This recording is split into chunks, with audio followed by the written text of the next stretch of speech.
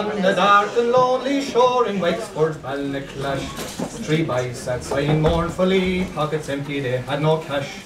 The butts they smoked lay smouldering like fireflies in the sun. It was no joke without a smoke, and more than they could stand. They talked of all the ways and means in which to make money, of making blocks or tin and or keeping bees for honey. They searched the strand for say prizes, a can of oil or sticks, but it looked out the footsteps of Paddy and to. Now a desperate situation needs a desperate remedy, and mind this is no fishy tale, they resolved to put to sea. To push the boat towards the shore, though she was undermanned, those boys were so determined as they pushed off from the land.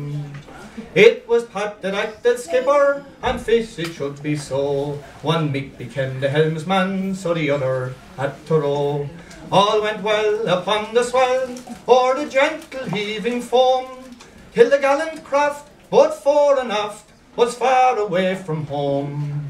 They cast their nets with ease and care, and skilfully unerring, they knew of all the enemy, the cold and crafty herring. And then they prayed so earnestly, and whispered to the wind, with their eyes turned up to heaven, sure you think they'd never sin.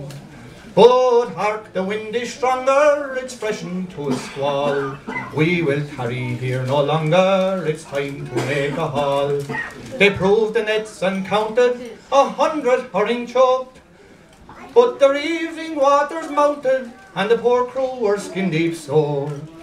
They steered the boat towards the shore, their breasts filled up with pride. So full of glee, our heroes three forgot about the tide. Into the raging breakers, three gallant lads the crew.